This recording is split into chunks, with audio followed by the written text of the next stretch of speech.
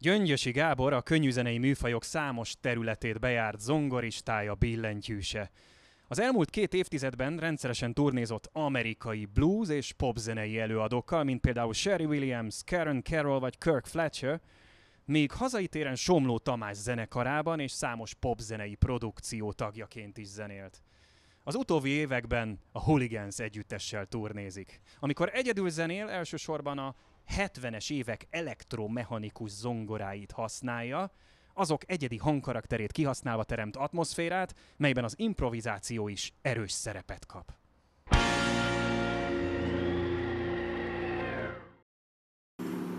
Hát úgy alkalmazkodtam a családommal együtt, ahogy a mindenki más, legalábbis jó esetben. Minél kevesebbet érintkezünk emberekkel, ezt, ezt sikerült megoldani. Itt Gödön, ahol élünk, ezt egyébként könnyebb is, mint mondjuk a belvárosban élnék. Itt, itt azért könnyen kimozdul az ember ide a Dunapart környékére, úgyhogy egy teremtett lélekkel sem találkozik akár, szóval, szóval én így nem panaszkodom ez ügyben. A, a lakóhelyünk, a stúdióm környékén tudok úgy mozogni, hogy, hogy, hogy tényleg nem kell kontaktusba kerülnem másokkal, és a napi praktikus dolgokat pedig a legészszerűbb módon oldjuk meg, mint a, a különböző ö, élelmiszerek és egyéb dolgok beszerzését. Úgyhogy ennyi. Igyekszünk, igyekszünk minél jobban elszigetelődni, de, de azért, azért vannak módjai annak, hogy az ember ne golyozzon be négy fal között. Hát ez nekem egy nagyon különleges időszak, szerintem minden zenésznek, vagy egyáltalán művésznek, aki alkot. Ez egy, ez egy érdekes szituáció, és, és egyúttal kénytelenek voltunk, vagyunk bizonyos dolgoktól elszakadni, kiszakadni a, a megszokott munka metódusunkból.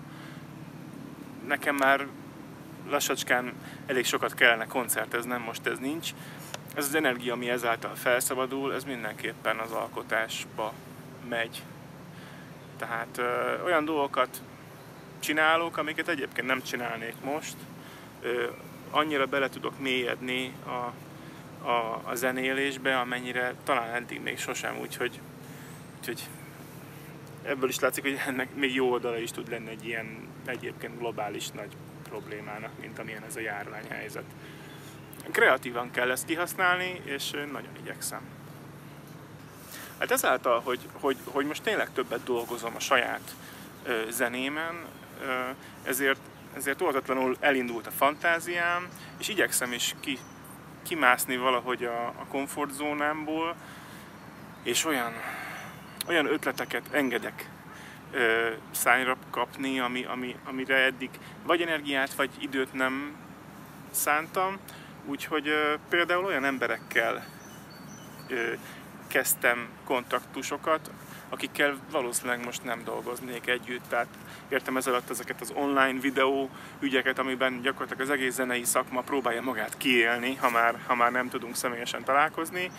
És, és az elmúlt hetekben is, és a következő hetekben is fogok olyan dolgokat, olyan zenéket készíteni más emberekkel, akikkel még alig dolgoztam együtt, vagy szinte egyáltalán nem. Úgyhogy, úgyhogy ilyen szempontból az a kontaktus felvétel, ami, ami, amit az online világ lehetővé tesz, az, az úgy tűnik, hogy nem is bezárta a lehetőségeimet, hanem inkább kinyitotta. Ez érdekes. A közönséggel való kontaktus, hát az annak a legjobb módja az, hogyha az ember színpadon van, és a közönség pedig a színpad előtt, és mindenki élvezi azt a pillanatot. Ez most nincs, ez hiányzik. Azt gondolom, hogy, hogy minden olyan eset, amikor baj van, pláne amikor az egész világon baj van, ilyenre nem is volt példa talán, az emberekben azért, azért, azért felkelt olyan, olyan érzéseket, olyan, olyan az összefogásra készítő érzéseket, amelyek, amely, amelyek egyébként, egyébként el vannak nyomva. Tehát most, most én látom azt, hogy, hogy ebben a helyzetben sok ember segítségre szorul, és nagyon jó látni azt, hogy, hogy, hogy van összefogás sokkal több ember között, mint egyébként lenne, és segítenek egymásnak az emberek, és, és noha nagyon ideg tépő egy időszak ez sok szempontból, mégis azt érzem, hogy türelmesebbek is vagyunk egyúttal egymással, és talán ez majd meg is marad egy picit, én nagyon szeretném. El tudom képzelni, hogy, hogy, hogy, hogy azok a dolgok, amelyeket az, az emberekből kihoz ez a helyzet, annak a pozitív lenyomata az egy kicsit itt fog maradni velünk, és ez, ez, ez remélem, hogy így lesz. A művészet szerintem pontosan ugyanazt adja, amit eddig is adott az embereknek, akár ha műveli az ember, akár hogyha valaki befogadja a művészeteket. Kinek mit? Tehát érzéseket, reményt, megnyugvást, vagy pont az ellenkezőjét, bármit. Igazából az a lényeg, hogy, hogy, hogy amikor a realitások annyira zordak és kegyetlenek, mint ami most esetenként tényleg úgy tűnik, ebből mindenképpen egy menekvést tud nyújtani a művészet. Legyen az bármilyen nemű művészet, ki mire fogékony, vagy mi az, ami érdekli.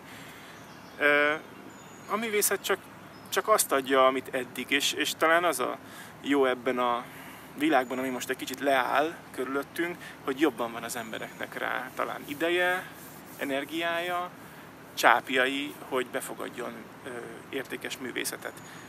És hogy ki hogyan találja meg a megfelelőt, azt, azt gondolom, hogy, hogy ez, ez, ez nem változott szintén. De a művészetre most nagyon nagy szükség van szerintem általában véve az emberek életében.